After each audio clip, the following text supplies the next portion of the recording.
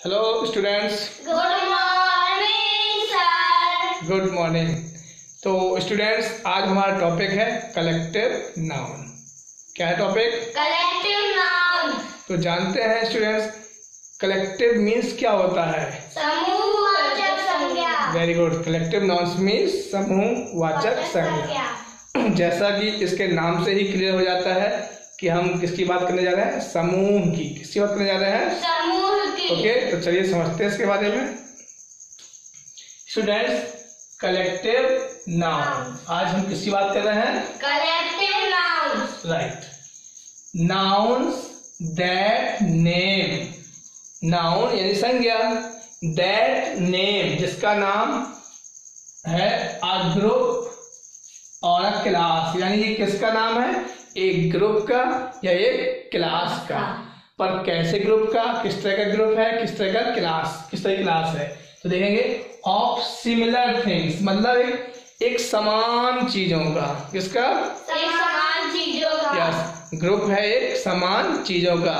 Okay ये class है किसकी? एक समान चीज़ों की। ओके और पर्सन या समान व्यक्तियों की। किसकी?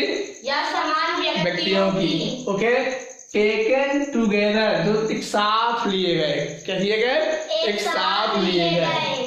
एंड और स्पोकन और उनको बोला गया या बताया गया। उस ग्रुप को हम बता रहे हैं या एक्सप्रेस कर रहे हैं एज वन वन यूनिट के रूप में। किस रूप में? वन यूनिट के रूप में। ओके है तो वो ग्रुप लेकिन उसको हम बोल क्या रहे हैं? एक unit okay whole are called collective noun तो इस तरह के सभी ग्रुप्स को जिसको हम एक यूनिट में व्यक्त करते हैं उसे हम कहते हैं कलेक्टिव नाउन एग्ज़ाम्पल से मैं समझा समझते हैं।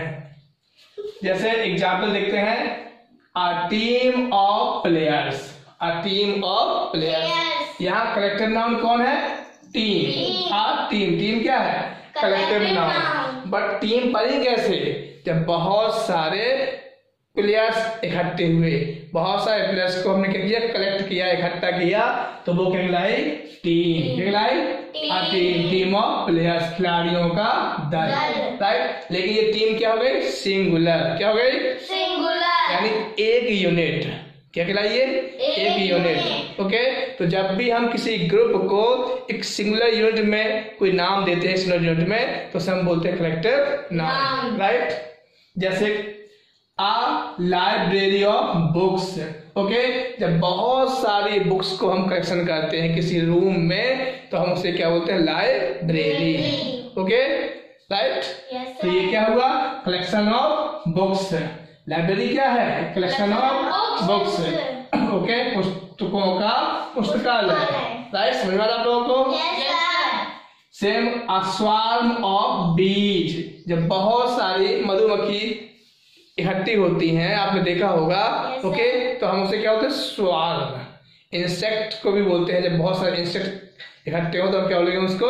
Swarm Swarm. यानी झुंड। क्या बोलेंगे? झुंड। ओके? मधुमक्खियों का झुंड। A swarm of bees. Okay right Yes, sir. a fleet a fleet fleet समझते हैं? जहाजों के ग्रुप को। जब बहुत सारे जहाज़ इकट्ठे हो जाते हैं तो हम उस ग्रुप को क्या नाम देते हैं? फ्लीट यानी जहाजों का बेड़ा। बेड़ा। Right a bunch of keys a bunch of keys यानी चाबियों के ग्रुप को चाबियों का हमने कलेक्शन किया तो उस कलेक्शन क्या बोलेंगे? एक किसी ओके कलेक्शन किया तो उसे क्या बोलेंगे? बंच क्या बोलेंगे Bunch. A bunch of keys चाबियों का गुच्छा। Okay an army of soldiers okay? जब बहुत सारे सैनिक इकट्ठे होते हैं तो क्या बन जाती है? एक आर्मी। वो आर्मी क्या हुई single unit right. Okay okay, क्या बोलेंगे?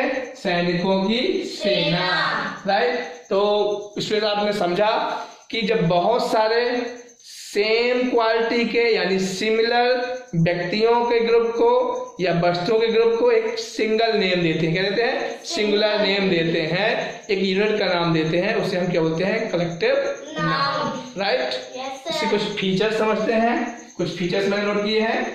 Collective nouns are okay treated as single units यानी कलेक्टिव नाउन को हम किस तरह से व्यक्त करते हैं. सिंगल यूनिट के रूप में okay they are naming word तो सभी कलेक्टिव नाउन क्या होते हैं? नेमिंग वर्ड क्योंकि नाउन है क्या है? नाउन और नाउन क्या होता है? नेमिंग वर्ड तो इसलिए कलेक्टिव नाउन क्या कहलाएँगे? Naming word okay used for many animals वह नेमिंग वर्ड जो यूज़ किया जाता है किसके लिए? नेम बताने के लिए। मैनी एनिमल्स कई जानवरों के। थिंग्स वस्तुओं के नेम ओके पर्सन्स व्यक्तियों के नेम एंड प्लेसेस और स्थानों के नेम टेकन टूगेदर मतलब सभी को साथ साथ लिया। सभी व्यक्तियों को, या सभी वस्तुओं को, या सभी प्लेसेस को okay as a unit as unit एक यूनिट के रूप में। तो उससे हम क्या कह सकते हैं? कलेक्टिव राइट तो समझ में आप लोगों को. ओके चलिए तो आप लोगों को अच्छा लगा. Okay very good